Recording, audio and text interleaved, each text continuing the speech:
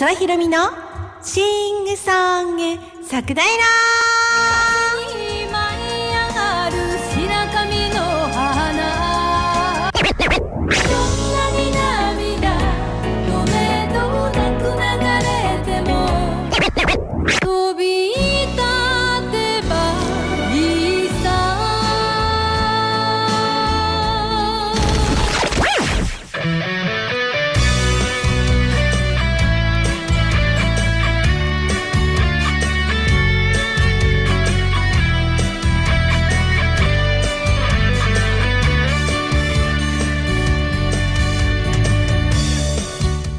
時計の針は8時40分を回っています。諏訪ひろみのシングソング桜平この時間は登山電車で行く絶景露天風呂の宿。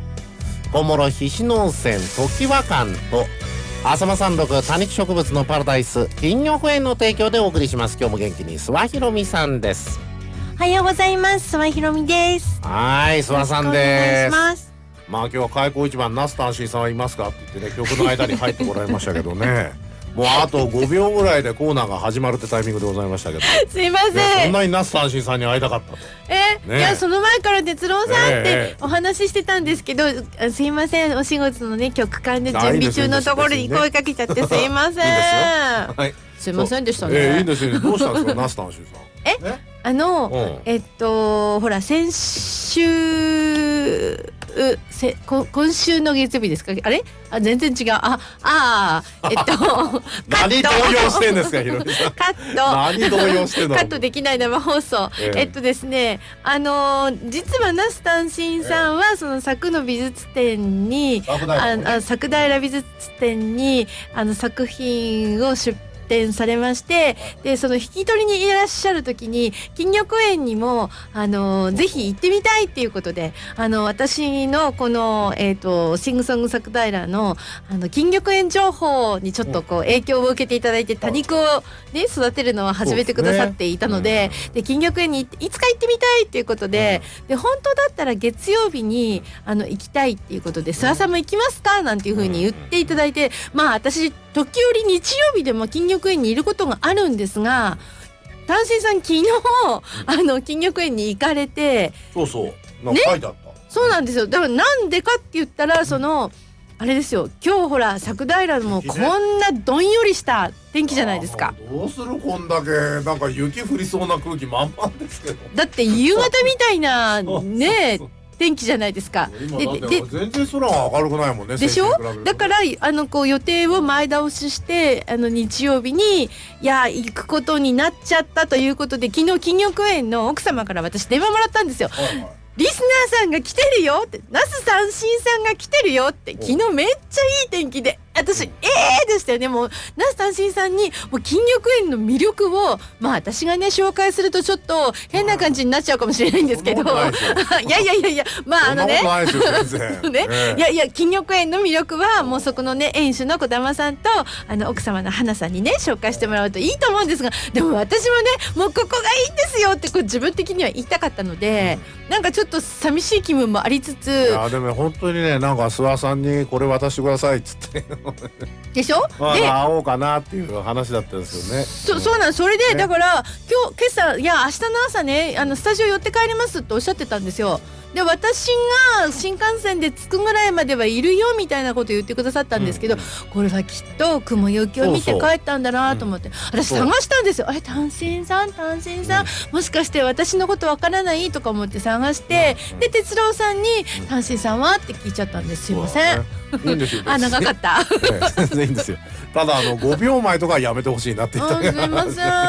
そうそう本番中いいんですにごめんなさい。いいんですよ別にねいいんです。だけど、はい。あのナスタンシーさんもね本当会いたそうな感じは出してましたけどね、うん、ええ。天気がね。まあちょっとお天気の関係でね雪があるからちょっと早めに帰るからっつって。そうです、だって僕だってノーマークで僕なんか今日ちょっとやっぱ 寝坊しちゃったなとノーマークでしょ？私情報なんかないんだから。もうノーマークね。でしょ？ナスタンシーさんなんかもう不意にこう目の前に現れた ディフェンダーみたいなもんですよ。なんだディフェンダーって。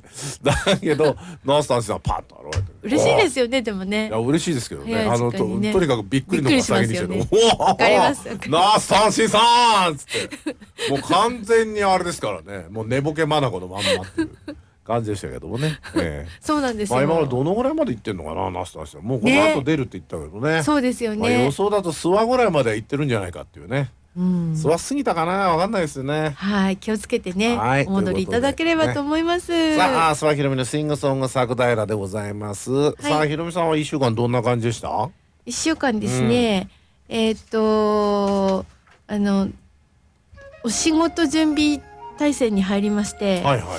であのですね私昼間歌えないんですよ。なんか歌前も話したかと思うんですけど、え歌の練習するのって夜とかが多いんですよ。えしかも夜中うんとかになんか集中してできるので、あなるほどね。の昼夜逆転生活が始まりましたね。あ、そうか。ひろみさんがあの本気モードになると昼夜逆転になると いうことなんですね。その前に3日間ぐらいで引きこもりまして、あずっとあのなんかねずっとあの布団から出ない食べないみたいな生活をえ、なんで？なんで？なんで？え？なんかあの冬眠に入ってからあの目覚めるみたいなそんな感じ。入ってから目覚諏訪さんの冬眠になってからあのプロの世界にまた戻っていくみたいな。めなんかねあのテンシ戻っていつもョプロの世界に。ンいやいやいやテンション上げすぎてうんドワーってなった後って、なんかオフで引きこもりたくなるんです。なんかその激しいんですよ。なんかあの、うん。毎日普通にできなくて。うん。であれなんですよ。で食べ過ぎたとかってないですか？食べ過ぎ、はい。や食べ過ぎなんかしょっちゅうですよ。もう実家の母がねたまに来ますけどもう来た時はえっ、と勝手に寿司タイム。うわあ勝手に寿司タイムいいですね。回転寿司ですよもちろんそんなね。我が家の身分なんてそんなもんですけど。えだって回転寿司さ美味しいじゃないですか。回転寿司大好きです美味しいよ。ようん。もう回転寿司ラブラブです。ねそれであの回転寿司さんにねある回転寿司屋さんに、なんかオープニングで行ってたような気もしますけど行ってですね腹いっぱい食べてきてそれ何の話してたんですか、えだから私が食べ過ぎてあもう食べ過ぎ食べ過ぎ。食べ過ぎて週末も食べ過ぎ。それをオフするために次の日になんか絶食してたんですよ。食べたくなくて。いや偉いね。違うんです食べた食べれなかったんですよ。これねあのねまだね食べれるのはね 食べれるのはってそれさ若いんですよ若い。はい。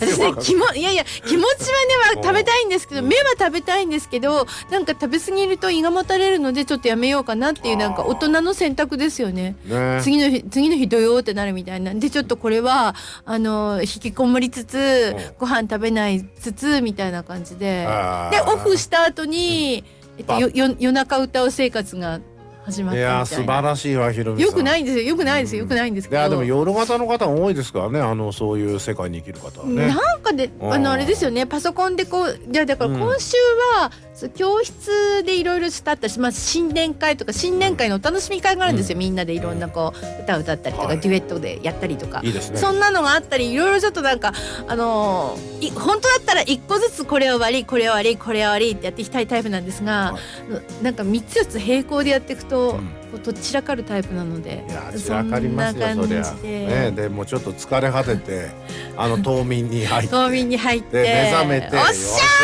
ゃよーみあたいな感じ。2月はライブもあるしこれはもうちょっっと本気入れてかなくちゃいけない私みたいな。そうですね。そうするとなんかえー3時間しか寝ないとか1時間しか寝ないとか変な感じの 今日も1時間ぐらいしか寝てないんですけど。あのすごい入ってきた途端にその空気は感じられる。そうですか。でもね単身さんがいると思ったらなんか頑張ってたんだよね。目を開けなきゃ目を開けなきゃと思って頑張ってたんですけどいなくてちょっとなんか、で哲郎さんすいませんなんかもう空気も読めない。やめないはい単身さんはみたいな大体ね大体そういう時は寝不足ですからひろみさん。すいま大丈夫ですよ。さあひろみさん。はいそんなひろみさん安心さん会えなくて残念でしたよ。そうなんですね。また遊びに来てくださいね。本当にね。はい、ということでございましてもう今日は早めに行きましょう、えー、この企業があるから諏訪ひろみさんがマイクの前に立ってくださってる、はいということで、えー、行きましょう。ひろみさん、はい、今日はどっちから行きますか？えじゃあ 金玉園じゃ今日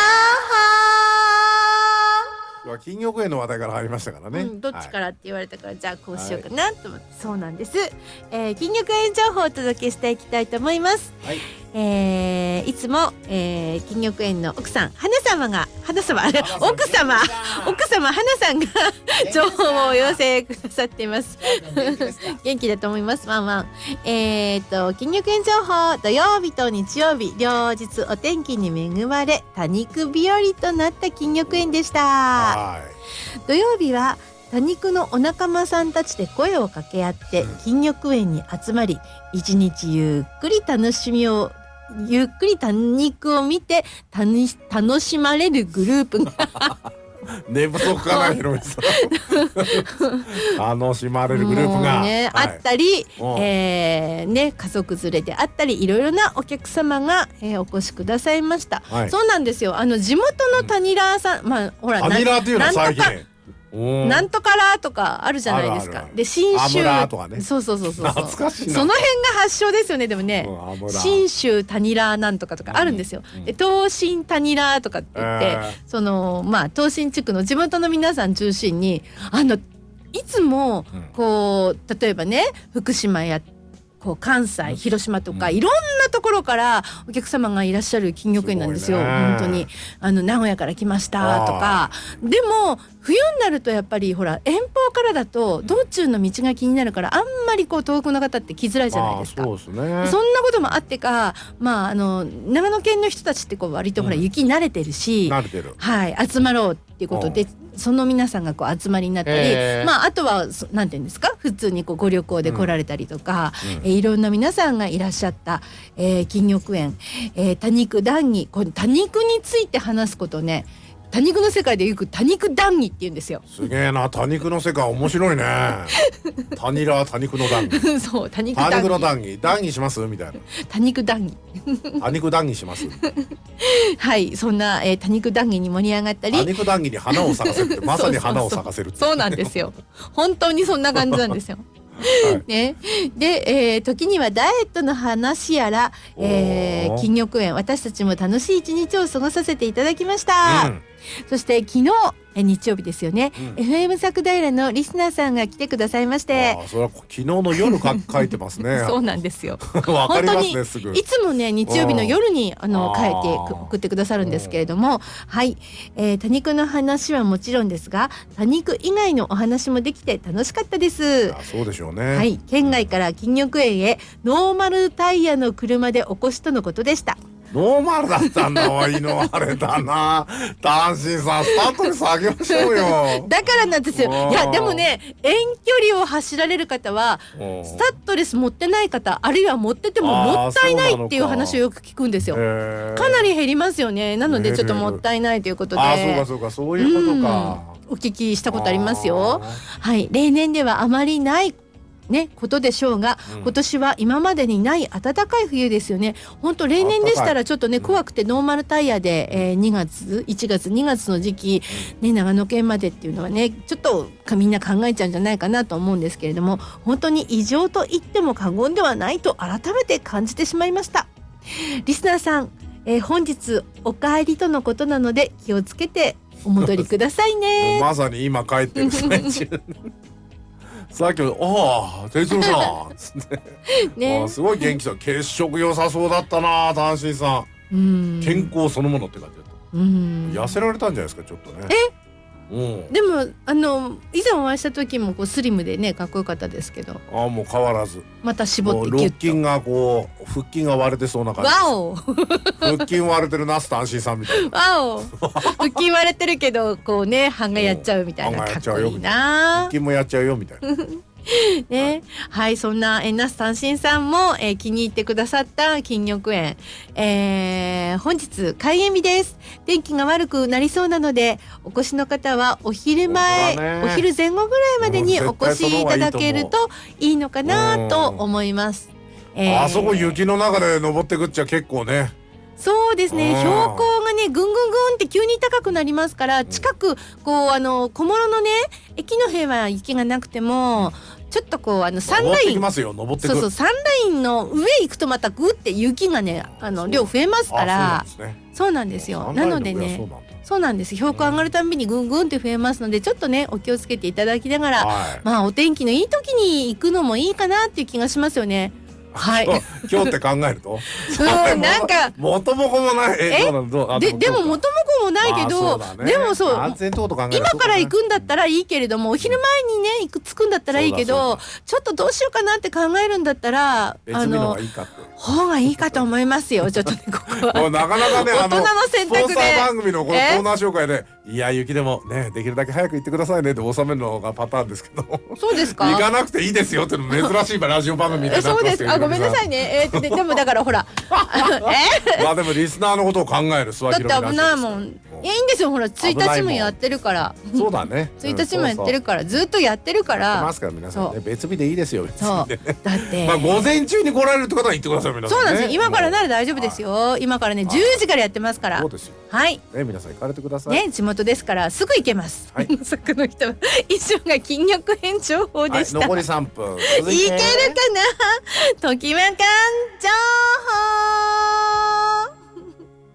はいお願いえーこちらもですねいつもね前日にね専務がね送ってくださるんですよ。時は館の花岡専務ありがとうございます。ます。今週の時は館情報です。その1時は館感謝祭。お。諏訪ひろみ歌謡ショーがあります。じゃららーん。今年も諏訪ひろみさんの歌謡ショーがあります。お。開催は2月の6日木曜日2月の7日金曜日の2日間の開催です夕食のみのお客様は4500円。これ夕食のみですけれども賞味入れますから。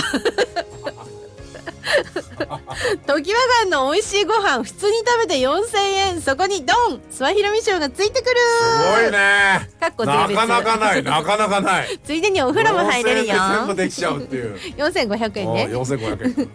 はい。500円ってのがポイントです。ねそうですね。そして税別そこもポイントです。ポイントですね。はい、はい。えーそして一一泊二食のお客様うん。ドン9000円。税別ええね安いよ。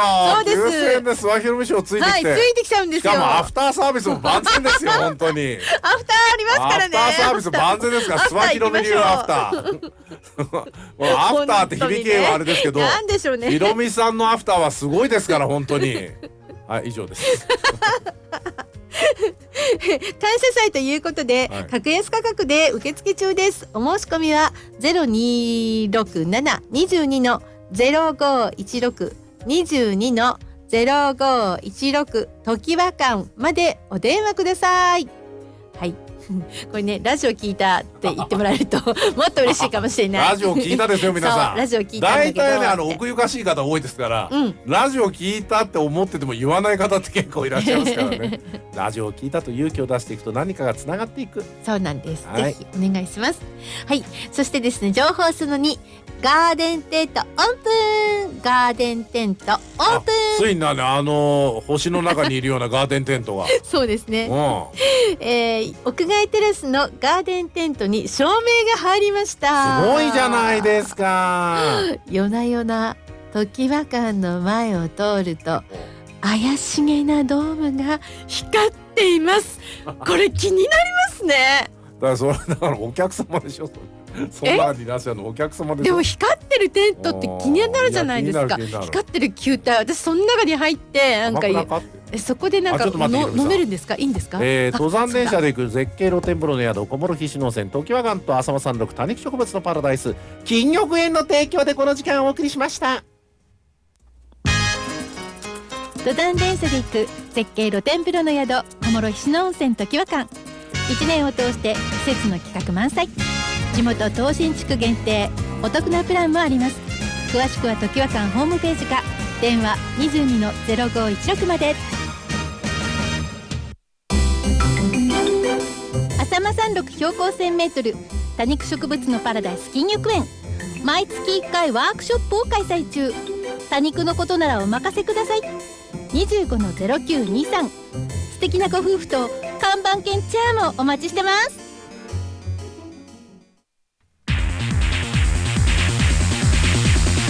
It is pleasant morning beginning today also. Let's go Owaku Waku for search with this program. Sak Daira, Wake Up Station. Waku Waku Morning. さあ時計の針は9時を回っております。中村哲郎と。つばひろみです。はーい諏訪さん。諏訪さんまずえっ、となんですかちょっと残りの情報いっちゃいましょうよ。そうですね。はい時和館はい時和館情報、えー、はみ出しております。はいね。諏訪ひろみ歌謡ショーみんなで行こう。はいぜひぜひ出してください。だって9000円でひろみさんのショーもついてアフターもついてですよ すごい。ことになっちゃってますから本当に。アフターってあの諏訪さんのアフターですから勘違いしないでくださいこれは。ね。歌が楽しめるアフターですよね。ねうんそうですね。すよ。あ歌が、まあ、皆さんにもカラオケ楽しんでいただいたり、すよ。あの飲み会を楽しんでいただいたり飲みます諏訪さん飲むのなんて大体そんな時ぐらいじゃなきゃねプライベートでお付き合いする人以外は ないんですから皆さん。ガンガン飲んじゃってくださいおかしくなりります。ガンガガンガガガガン。テンションの上がり具合はあんま変わんないですけどなんか高くなってますね、まあそうでしょうね。はいしえ？え？え何ですか？ショーのまま。ダーって言っちゃいますね。はいじゃあひろみさん続いてお願いします。はい。えー、そしてですね情報その3はい 東進エリアの東進エリアにお住まいの皆様限定冬季プランのご紹介。はい。今年のちょ特徴は？プランが3つ。はい。気軽に利用できるお手軽コース4500円。これはあのえっとご飯のコースですからね。ご飯のプランですからねご飯いいな。はい。そうなんですよ。ご飯のコース。ご飯のコース。気軽に利用できるお手頃コースが4500円カニがついてお得なカニ付きコース6000円。6000円でカニ食べられちゃ豪華海鮮尽くしコース8000うい円やすごいね。以上3つから選べます。お料理との組み合わせで宿泊が4500円。消費税入湯税は別になりますけれどもご利用可能です。ということはご利用こごお手軽コースプラス宿泊で9000円からご利用できますすごいですよ本当に。でもこれだからあれですよ。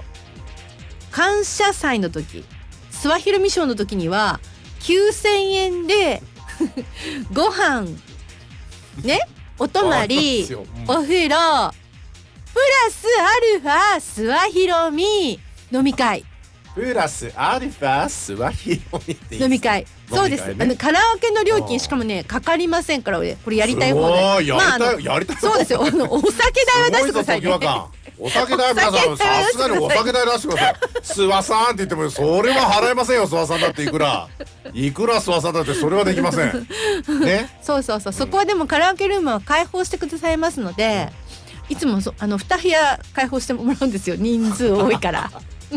大変って相当入ってんじゃないですか、えー両方。だからねなんかね行く人はね両方移動しながらねこっち空いてるかなとかこっち誰がいるかなとか言いながらね両方こうやってるんですけれどもね。諏訪さんって本当ファンクラブだよな、そんなこともないんですけれども本当にね時あかんさん楽しいところなのでうん。ぜひぜひということなんですけれども。そしてこのあの東進限定お得なプランなんですけれども、えー金曜日でも土曜日でもこちらのプランが利用できますよしかも2名様での利用が可能です。3月13日まで受付中です。これまだまだ楽しめますよね。3月13日まで？何月何日まで受け付けてる、3月13あ日ま13で日までね。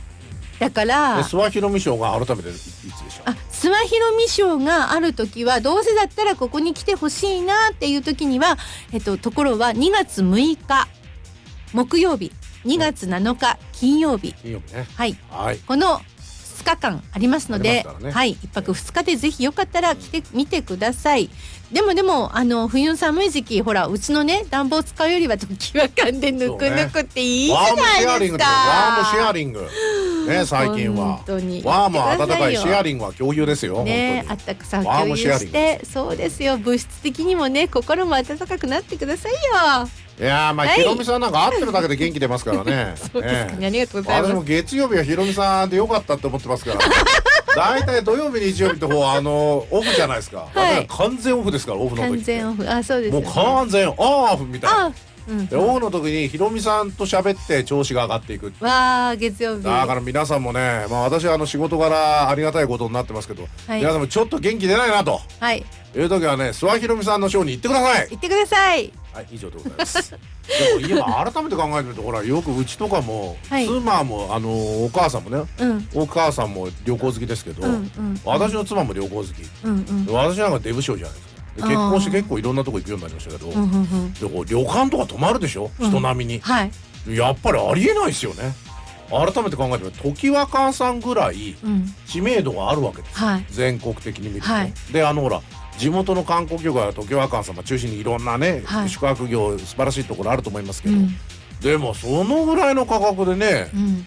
豪華料理が食べられて宿泊ができちゃう。そうなんです。しかも登山列車も乗れちゃうってことですからね。うんいや改めてこう 地元の方割とね財産見失いがちですからあの、はいあなんかいつでも行けるわって思ってて意外と行ってない人って多いですからねと思いますあーぜひね行ってみてください諏訪さんのショーもついてきますはい。すみません。まだ情報あるんですね。はいどうぞ言っちゃいますよ。情報その後、ん自転車大会参加者募集中、ごめんなさいね。あるんです。これなんです。はい。えー小諸の高峰高原まで自転車で登るヒルクライムと浅間山の周り約 100km を自転車で走るロングライドの両自転車大会の受付をしています。お主催は小諸サイクルプロジェクトなのですがプロジェクトの会長が当館社長でヒルクライムの実行委員長が私常盤館専務ロングライドの実行委員が委員長が薬師館マネージャーとほぼ常盤館で主催しているかのような自転車大会です。すごいね坂の道小諸において自転車ってのはね前向きなこうなんか観光資源というかね。それを担ってるのが常盤館さん。そうなんですよね。これね、ね小諸のね、駅にもレンタサイクルがありまして、電動のとそうじゃないのがありまして、いいね。結構ね、安く貸してくださって、で、小諸の街を楽しんでくださいってあるん電ですよ。動あればいくらでも楽しめるよ小諸なんてでもね、これね、うん。金玉園まで、電動で普通ので来た人がいるんですよ。普通のダメだな。あの坂道普通のダメだな。でね、よっぽどのアスリートじゃないと。そうなんですよ。あのね、あそんなことないか。ごめんなさい。ご主人今聞いてたら聞いてない。いやいやいやいや、あのね、でもね、一応ね、坂道ですよ結構ね。そう標標高差とかを説明したんですけれどもそれでもねあのまあこうチャレンジということで普通ので来た大丈夫です。私脚力自信ありますから。そうそうそうそう。でもね電動でいらっしゃった方もいて電動はなんかいけそうだけど、ね、うんそうそう。楽しいなすごいなっていう感じのね小諸の。電動なんか坂道ぐんぐん登ってくから絶対楽しいと思うよ あんなの。あれ小諸駅からどのぐらいで行くんですかね？時あのまあ時計館じゃなくてあの金玉園金玉園えー、自転車でだったらどのぐらいでしょうね？車でね普通に運転して20分ぐらいの距離だと思うんですけ電ど動自転車って本当速いですよね、うん。スイスイってね。今度調べてみたいとえー思いますそしたらけれどもね。電動自転車で今後行くって人もいるんじゃないの？夏場なんてそうだからこれか小諸の観光資源ですごいなと思うんですけどすごいね。よ自転車一台だったらね車借りるより全然安いじゃん、そうですね。確か安かった電動自。転車一泊二日ぐらいで借りてね そうです行けばいいんだもん周辺も回れるし そうですよね。うんね、そんなあの自転車盛んな小諸なんですけれども、毎年の量毎年の常連さんが多く、ヒルクムライムではもうやめよう、もうやめようと毎年同じようなことを言いつつも、今年で16回目の業界では朗報の大会になってしまいました。さすが常盤館さんですよ 今回の大会から運営方法を大きく変えているので、今回今回うまくいけば、やだやだ言いながらもしばらく続くかも。えー大会の概要は、えー、車坂峠ヒルクライムのホームページとグランフォンド軽井沢またはグランフォンドはい小諸のホームページをご確認ください。今作平で話題沸騰中のこの番組メンバー全員登場マニアックな話をすると極端にメールの数が落ちてしまう番組アミヘラスカルテットのまた会いましょう火曜日夜7時から辻平野石毛 Let's go in search of the charm of Sakdaira. 76.5 FM. FM Sakdaira. ワクワク。モーニングまだまだ続くよ。常盤館情報まだあるんですねひろみさん。そうなんですよ。すいませんね。いいんですなんかねいいんです楽しい話しこながらね。んだけボロボロボロンってあるってことですよ。よ常盤館の楽しみがえーすいねません。はいそうそうでねこの今ご紹介しておりました、えー小諸の高峰高原までの自転車で登るヒルクライムと浅間山の周り約 100km を自転車で回るロングライドの両自転車大会こちらの受付なんですけれども、おはいぜひ参加してみていただいたらどうなのかなと地元ですからね、えー大会の、えー概要等は車坂ヒルクライムのホームページとグランフォンド軽井沢またはグランフォンド小諸のホームページからご確認できます。そして参加申し込みはインターネットからお願いしますとのことです、えースポーツエントリーまたはローソンドゥスポーツ、えースポーツエントリーまたはローソンドゥスポーツの各サイトからお申し込みをお願いします。ということでこれ最近あのほら運動するスポーツするっていうかなんかこのトレーニングというか健康づくりってブームじゃないですか、はいはい。ね？あのマラソン大会いろんなところであったりとか、ね。私の友人のあの夫旦那様もこうマラソン大会に出場して、うん。なんかあの記念のグッズをもらってくるのが楽しみなんだああわかるそれは。ね？フィニッシャーズタオルとかでしょ？そうそうそうそう。メダルとかね。そうなんですよ。だからこうね自転車の大会もぜひ地元ですから皆さんねご参加いただければと思います。以上が時和くん情報でした。あの坂のある町小諸？うんそうですね。で坂の町。私もね割とね小諸ってはい。坂多いなーっていうやっぱ昔からだけど、うん。ね、歴史あり情緒ありってその坂っていうのはまず欠かせないものではあるんですけど、うん。まあそれも観光の一つのポイントにおいてどうなんだろうってちょっと思ってるところがあったんですけど、うん。電動自転車っていうのは本当便利ですよね。あの私それ実感したのはあの沖縄の離島に行こうっていう話になりましてはい。ねあの子供小さいところはあのいろいろとかからないじゃないですか。はい。今のうちにって行ったんですよ沖縄、はい。帰ってこれなくなっちゃいましたけど去年。そうですねありましたね。離島に行った時にすっごい坂なの、うんうん。えーっつって。うんどうすんだこんなとこってレンタサイクルがあるじゃないの。うん。レンタサイクル電動めちゃめちゃ便利だよ。どこまでもスイスイスイスイ行っちゃう。でこうあのやっぱり坂道ってこう自分の足で歩くってなかなか大変でもね。うん。電動自転車で行くとスーッと上がれたらこんなに眺めがいい街なんだって。うん。余裕を持ってうん。実感できる。うん。っていうところで言うと本当にあの電動自転車がうん。駅に置いてあるってのはすごくいい試みですよ。ね本当ね。レンタサイクル。どんどんこうレンタサイクルとか増えてったらね小物もっともっと訪れる人もどんどん増えていっちゃうんじゃないか。うん。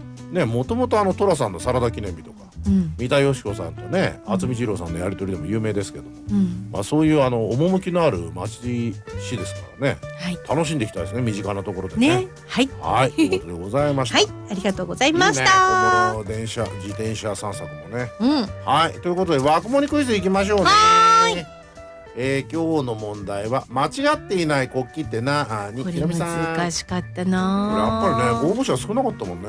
そうなんですあの本当にねね聞いてなくて少ない場合とね。しまあ割と聞かれているバージョンであの来ないバージョンってあるんですけど、うん今日は空気的に、んあの聞いてんだけど来ないバージョンだな。ああじゃあだ難しい系ですか？難しい系かなと思ってたんですけど、ひろみさんわかりました？わかるわけないじゃないですか答えは。いやひろみさんはそう言いながら理系の頭を持つ。いやいやいやいやいや。理系上ですから理系上、ね、理系上。理系上ですから。さあ行きますよ。はい。ワグモリクイズ答えは？正常期でした。アメリカの正常期。正常ね。間違っていない。正常ってことね、はい。そうそうああうん。えー、ファンファン。えー、えーと一番賞はねおたまじゃくしさんおめでとう。おうおめでとうございます。えー、そしてファンファンライダー2号まだ56歳さんクイズアメリカの国境諏訪さん USA 歌ってちょ。そんなまたちょろん、ありがとうございます、はい。後でね後で歌います。えー、ラジオの旅人さん、はい。さあおジェットモンスの枠盛りクイズです答えは走れ正直者でファイナルアンサー。なんでだろう？えなんで？正常？あ正直？ああ正直で正常？ないでしょ正直と正常。かかってないうんうん。なんだろうリねンリンランランソーセージ。かかってないやっぱり歌詞も振り返ってみても全然かかってない。ラジオネーム頑張れまこちゃんさん、はい。ボケるガチルもあなた次第。中村てっちゃんクイズでポン、うん。ボケるガチルって面白いね。2020年候補になってほしいなこれ、うん。えー答えは汚れた空気をきれいにワクモリテレフォンショッピング価格より45%オフ。今がお買い得の正常期でファイナルアンサー。ボケ大賞をあげちゃう。あ声を大にして言わせていただきました素晴らしいえーラジオの旅人さんさあ気を取り直して行ってみよう。ワクリクイズス答えは正常期でファイナルアンサー。ボケ浮かば浮かんでないね。まあいいけど別に。浮かばなくたっていいですよ。あの普通のリスナーの方はもうあのねあの送ってくれる方はそのまま送ってください、うん。まあでもラジオの旅人さんくらいのねあの常連さんになるとちょっと一つ言うことも変わってくるっていうだけで、まあ別にいいんですけどね、えー最後は黄昏グータラボッチさん。日本の国旗は日の丸、うん。イギリスは多分ユニオンジャック、うん。間違っていなかったらアメリカは正常期違うか。ストレートに正解ですいいね。この節回しなかなかキレがあってよかったな。うん。はいということで黄昏グータラボッチさんありがとうございました。ありがとうございました。さあひろみさんメッセージなんか届いてますはい。えっとおたまじゃくしさんとかご紹介そう。あしちゃって。今日はビールが命の母江さん来てない 昨日あのじあのスポーツクラブで会いましたけど はいはいなんですはい、えええー、おたまじゃくしさんありがとうございます。はいえー、シングソング作平ひろみさん中村さんリスナーの皆さんおはようございおはようございます。ますおはようございます。えー今日は気温が全国的に上がらないようです。風邪をひかないようにしましょう。ん本当ですよね。気をつけたいですね。はい、はい、えー、私今日あの久しぶりというか、はあ。そうですね。あの今年割と暖かくて大丈夫だったのでマスクあまりしてなかったんですけれども、はい。えっと先週の土曜日ぐらいからちょっとお外に出る時はするようになったんでいすけれども、やーそりゃそうですよ。気をつけたいと思います。ねえもうひろみさんは2月6日ぐらいまでマスクしっぱなしですよ、ね、風邪ひいちゃいけませんから。そうですね。はい、2月の、えー、あ12月のアクシデントから1ヶ月半。こ大変だった。れあのえっとちょっとねあの事故にお怪我を。ねね首されちゃったりということだったんですけど家事等々もリハビリと思い楽しく過ごしています。え25日はコカリナ新曲でしたが1時間半くらいで終わる頃にはかなり仕上がっていてみんな笑顔でした。すごいな。え最近面白いと思っていることはお笑い番組ですね。おいいね。お笑い番組、う。んテレビ欄まずお笑い番組探しています。誰のところが好きなんだろうね。ね気になりますねひろみさん生歌朝から声が出ていますね。毎回。感心しています。ありがとうございます。ひろみさんなんか大体歌声がね 聞こえてきますからね。これ大体あのメールが来るのとかいろんな情報が朝入ってきますからね。結構開けっぱなしで放送してる時ありますよ。一人しかいないし。同じ歌って間ますよね私ひろみさねんガンガン歌ってますから すいません。よーきっとひろみさんの歌声がねこの放送に入ってるかもしれない。どうしようごめんなさい。いいねいいね入ってたらごめんなさい。う入ってないあの聞こえてないと思うから多分。聞こえてる人はすごいぞ。すごいね。はい今日も素敵な疑いで楽しみです。生歌リクエストは、えー、同様のゆきやこんこよろしくお願いしますということでいただきましたね。もう本当に雪やコンコンみたいな状態になってるもんね。今日はね。雪やコンコンあられやこあごめん僕が歌っちゃいけないな。あの土曜。あなんかそれええっと雪やこんこですからねこんこあれコンコって恋恋ってことでしょ？うん。雪を恋恋って。うん。コンココンコって。ねえあなんですか？そうでしたっけ？あ違うの？わかんない。え恋くんなくんなってことじゃないでしょまさか。いや。雪やくんなこんなっつったらなんか同様の世界じゃなくどうななっちゃうよんでしょうね。これなんかでもなんわか正式に調べてないからちょっとわからない。他の世界には正解があります。ファイナンシャルプランナー小山洋介先生がお届けするマネー講座。放送日は毎週火曜日お疲れさんでごわした5時12分からの5分間。お金の世界のからくりなど楽しくわかりやすくお届けします私小山陽介がお答えいたします。聞いてください「・」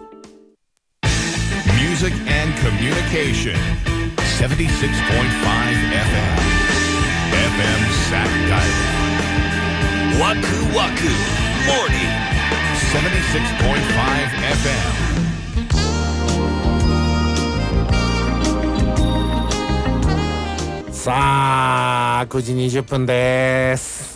ちょっと早く乗っちゃいましたけどいつもより。はいひろみさん。はいお願いします。待ってますよ。待ってます。まずは週末報告。週末こんな風に過ごしてきました私小諸の図書館行ってきました、うん。あ小諸の図書館ってひろみさん行ったことあります？ないです。小諸の図書館今度行ってみたらすごいですよ。へもう資料が。多分ひろみさんがなんか物調べようと思ったら多分そこに何でもあるさ。ありましたね。上田の図書館もすごいんだろうねきっとね。うん。上田の図書館も結構ある、あります行ったねことないからわかんない。上田の図書館私も最近はないですけれども。なんかあのそう。小諸の図書館ほら新しくなってるじゃないですか、うんうんうん。市役所と図書館と病院。と、うんうんうんうん。全部あんの駅周辺。うん。すげえ。で行ったらね図書館もすっかりハマっちゃって。へえ。図書館のボランティア朗読会とかも参加しちゃって。ああそれ前お話ししてましたよね。あの楽しいですけどね、うんうんうん。いいですね。以上です。はいそれ何の話してたんですか？え週末のあ週末の報告。皆さん待ってますから。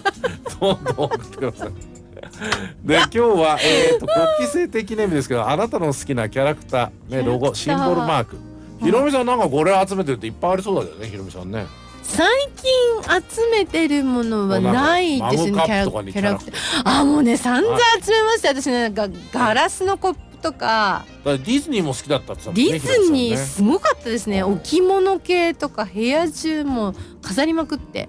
それ何？それはもうそのブームはもう過ぎてそのあの数々のあの宝物はどこ行ったんですか？数々の宝物たちは、あの陶器が割れないように、う全部こうあのパッキン。あパパッキングして箱に詰めて、うん。何が入ってるって書いて、うしまってあります。すごいじゃないそれ実家にね。ひろそれすごいあれじゃない？宝の山じゃないの？ひろみさん。わからないですけど。いやでも集める集めるのって収集癖がある人って何でも集めちゃいますけど本当に多いですよ。なんか切手とかもありましたし。あえなひろみさん聞いてますれました？私ね飴の紙とかねさもう何でも集めても飴の紙幼稚園。幼稚園。えいや飴の紙って普通のキャンディーの紙ですよキャンディーの。あそれを集めるブームがあったんですか？自分の中で。へあとあのーこの飴食べたなとかそう。綺麗じゃないですか飴の包み紙。まあね。あの千代紙とかも集めました。シールも集めましたし何でもですよなんかここれ収集癖のある人の性格分析とかなんかあるのかな？うわかんないです。あのある特放徴がある送紙とかもね執着心があるとかね。いろいろでもね移り変わってきてますよね。なんか捨てられなくて前もお話ししたと思うんですけれどもあのお仕事でお花束いただくとそこについているリボンとかも取っといて全部こう飾ったすげえひろみさん。捨てられないあそうか今も考えてる収集癖の極地があれ多肉多肉植物ですね。そうかそうか。ひろみさんはそういうタイプなんだな。タイプですねだからこう困ってますよね。何か始めたら何かやめなきゃいけないって自然にブームが移っていけばいいんですけど移らないともうなんかパニックになるみたいな。どうするみたいな。どうするみたいな。これも買いたいしあれも買いたいし。うん買ってどうするみたいな。またうちのあってど中うする？うちの中のスペースの問題もありますよ そうなんですよね。ダメですよね。ね。でもねあの長くずっと使ってるのとかはなんかお財布とかはすっごい長いですよえ10年以上とか同じの同じブランドとかうんうん同じお財布。えあの色があせてて綺麗くないんですけどそれが好きでずーっと使ってます。ー味が出てって。うん。なんか愛着がある。愛着あるし集めちゃうし大変ですよもだから物を大切にするんだなひろみさんは。う悩むタイプですあねー素晴らしいわあの捨てられなくて困るタイプですね。本当に。僕なんかあの結婚した時に大概のもの捨てられましたけど いらないっていう。漫画とか3000冊ぐらいあったんですよあだから捨ててくれる方がいればいいんですよね。もうこれはえっ、と共同生活する上でいらないものです。そうなんだ。じゃあ貴3000冊重な漫画があったかもしれ3000冊ぐらいだったないらもうあの漫画雑誌。私なんかほらそれまではもう漫画と共に生きているって独身生活でした漫画全部売りましたけど大したお金にならないですうんでもね漫画そういうのはリサイクルになりますから皆さん。そうそうそう、ね行きましょう行きましょう、はい。はい。それで八王子島京さんですよ。はい。えー、行きますよ京都から。はい。勝作さんの YouTube と釣り岡でしょうがコラボしてるのは見た。八キだよ。おはー。勝作さんの鋭い関西弁に佐賀県の釣り岡メンバーが少し怖がってたのが印象的だったなるほどね。えー、釣り岡でしょうはこういった YouTuber とよくコラボしていて中でもハルワンって女性 YouTuber がオラは好きになった。オラになっちゃった。ごめん。オイラは好きになった。料理の好きな YouTuber で釣った魚を料理したのが見事で彼女の YouTube も見るようになった。なるほどね。人気 YouTuber だけあって声が綺麗でトークも軽快でしかも料理が簡単でオイラもやってみようってなるんだよな、うん。はるあんさんひらがなではるあんさんたかさん。チェックチェックチェックチェック。諏訪さんトンネルズ迷惑でしょうが歌って。迷惑でしょうがほっといてください。イエーイ いやまさかそこで終わるとは思った。バカな俺ですまで行くのかと思ったら。いいよほっといてください。下がって終わったっていう。ありがとうございます先生。ありがとうございました、ね本当に。もう最近トンネルズの配信も始まりましたからね。うん。あなたはもうトンネルズファンなんてファンクラブ解散しちゃってね、うん。寂しいと思われてる方たくさんいらっしゃると思いますがあとはライブだけだなんて SNS の元気な言葉もねうん。まあありますね。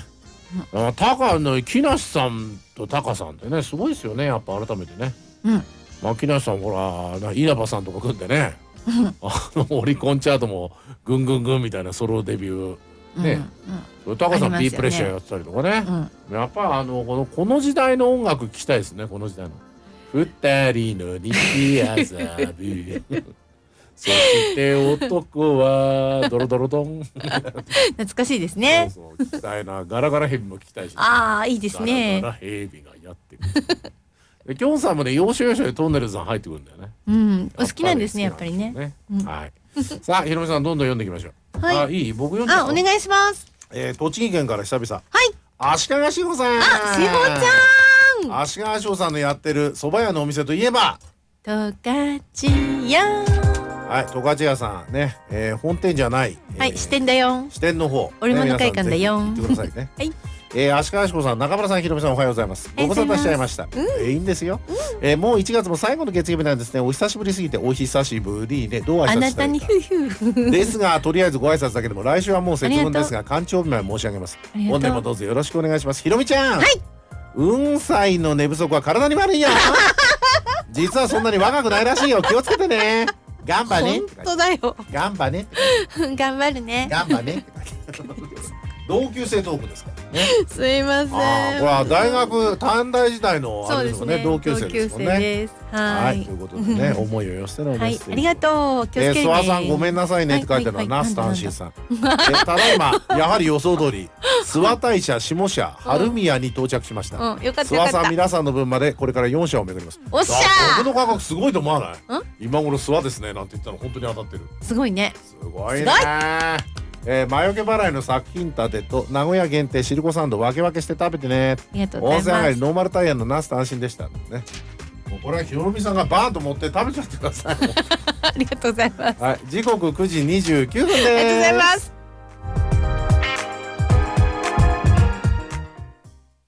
中村ブラザーズの中良でいかざ中良でいかざとは長野県佐久市の方言で大体で行きましょうという意味です佐久出身の中村兄弟が日々の出来事や世の中の気になることを独自の目線で勝手に根拠もないトークを繰り広げるゆるい番組です毎週土曜日午前10時よりダンメッセ Waku Waku Morning Traffic and weather information. はい、時計の針は9時30分を回っております。中村哲郎がお届けしています。佐久平ウェイクアップステーションワクワクモーニング。長野県は曇りとなっています。今日は湿った空気や前線の影響を受ける見込みです。このため長野県北部と中部では曇りで夕方から雪となるでしょう。南部では曇りで昼過ぎから雪か雨となる見込みです。えーそして全国のお天気いきましょう、えー札幌は曇りで昼前から晴れところによって明け方雪、えー仙台福島は晴れで夕方から曇りでしょう東京曇りで夕方から雪名古屋は曇りで昼過ぎから雨です。大阪京都は雨で朝晩曇り福岡雨。那覇は曇りで明け方まで雨。ところによって雷を伴うという全国のお天気です。さあ皆さんからの追い込みメールファックスお待ちしてます。今日はあなたの好きなキャラクターロゴシンボルマークを教えて最近面白いなと思ってること大募集。週末報告も合わせて送ってください。9時33分です。檻の中のダンスコースタージェリーダンスドラン。音楽情報バラエティー「くんごんぼんご」インディーズアーティストを応援インディーズで GO ドラマー必聴ドラマーになりたきゃこれを聴けこだわりの洋楽選曲とともにお送りします「くんごぼんご」は毎週木曜夜8時から。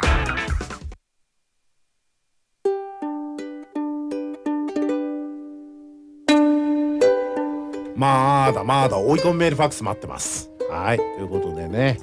えー、週末報告どんな週末でしたかね。えー、いろんなメッセージお待ちしておりますよ。はい。えー、ラジオネームヒロトラスッキーさんメッセージいただいております。ありがとうございます。バレーボール大好きヒロトラスッキーさんですよ。おはようさんです。おはようさんです。中村さん諏訪さんリスナーの皆さん雪になりそうな桜平ですね。ね。桜平ですよ。まあ雪なエンカルの用意もしとかないといけないな。石灰ってうかつに行ったらね。石灰じゃないですよねみたいなね。そうエンカルエンカルごめんなさいごめんなさい。石灰畑に前でねよし今年もあれだな。大きいあのいろんな作物になるかなみたいなね。違う違うエンカルだった。ごめんごめんなさい本当に。えー、長村さん諏訪さんリスナーの皆さん雪になりそうな桜平ですね。えークイズ正常期どこの国旗や米米クラブアメリカの国旗だった。ね正解。えー好きなロゴ阪神タイガースの球団旗。そう生粋の阪神ファンだからね。で生粋の阪神ファンが桜平にはえーいらっしゃいます。それは大阪高行のご主人と奥様でいらっしゃいます。けどまあ本当に阪神ファン。特にねあの奥様もそうだけど旦那様が生粋の阪神タイガースファン。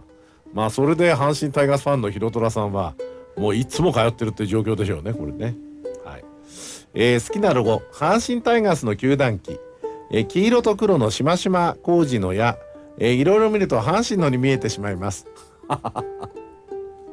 これ職業病って言わずに何て言うんだろうこれ。なんて言うんだろう これ。何でも黒とあれだったら阪神に見えるみたいな。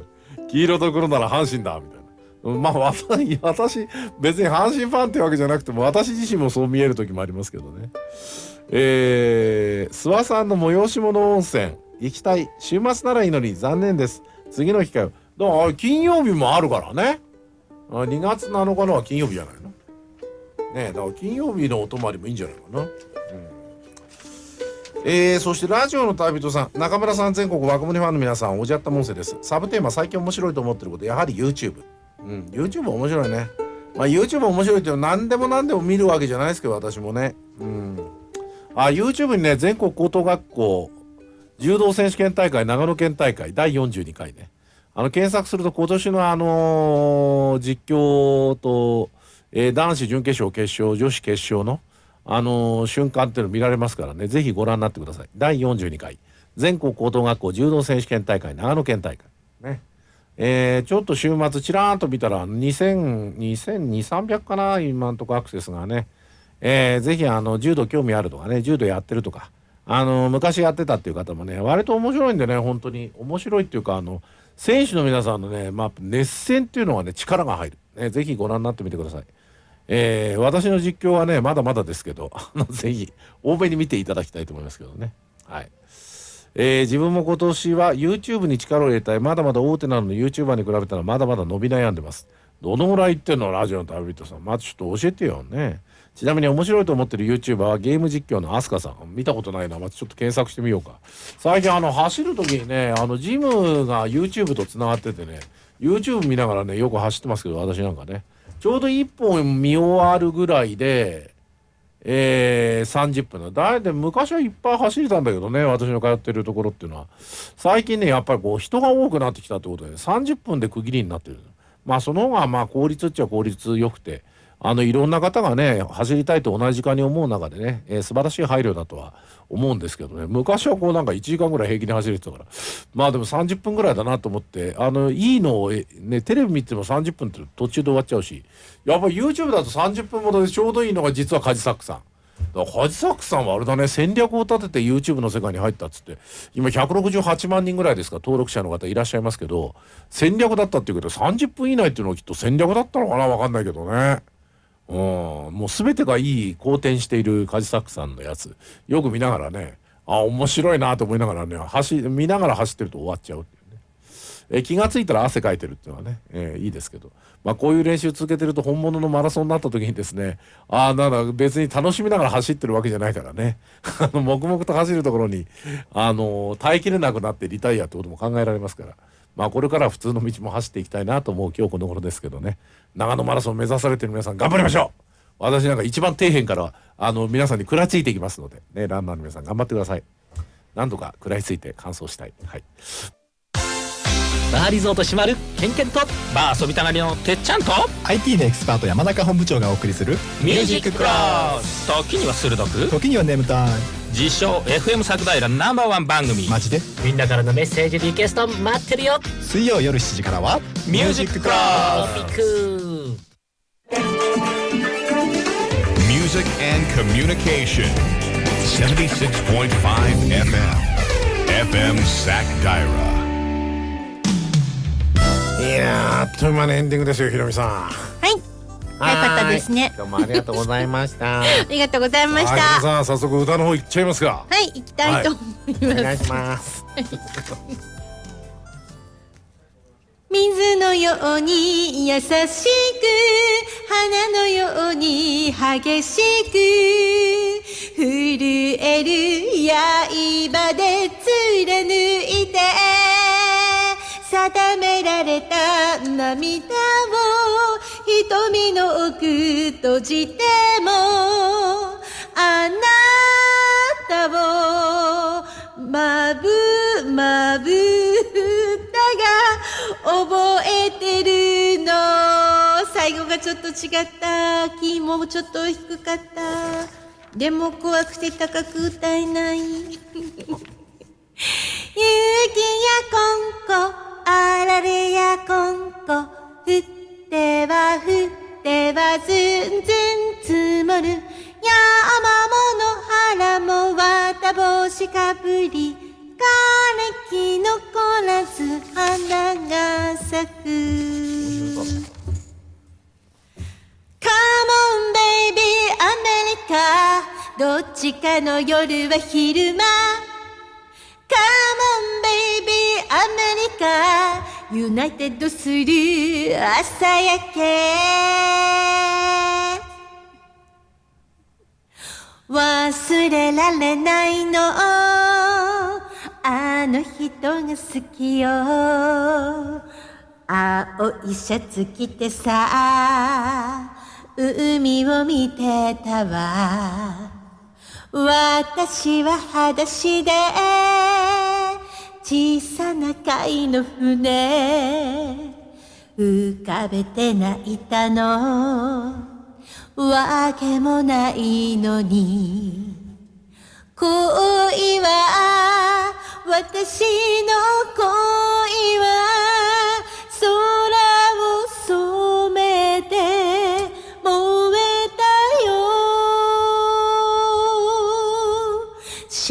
ぬまで私を一人にしないと。あの人が言った。恋の季節よ。恋の季節よ。恋の季節よ。はいありがとうございました。